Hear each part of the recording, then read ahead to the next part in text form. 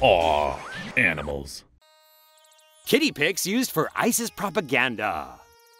Cat pictures are basically the only thing that unites the internet in Oz. Oh, wait, is that cat sitting inside a suicide belt? What the f? Turns out the little gray furball lives in Raqqa, Syria, and yeah, Lucy is a member of ISIS. Or at least her moronic owner is. Poor Lucy. Just imagine the things she's seen and done. Do cats get virgins if they're martyred? Anyway. Lucy's been drafted by her British jihadi master to work as an online recruiter. Cause you know, you see a cute ISIS cat sleeping next to a grenade, and how could you not want to move to ISISville and go chop some infidel butt?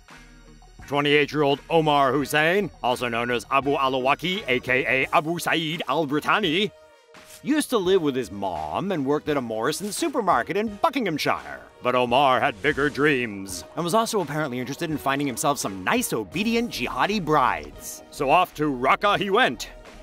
Sadly for Omar, his propaganda pussycat has not helped him find any burqa bombshells, but he has gained some fame as the idiot posting pics of his terrorist cat.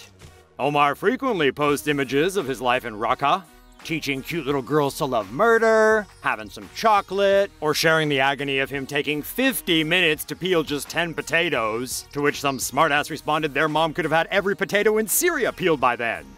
Yeah, maybe he should stick to terrorist cat pictures. And by the way, Omar, please blow yourself up as soon as possible and leave Lucy out of it. She's suffered enough.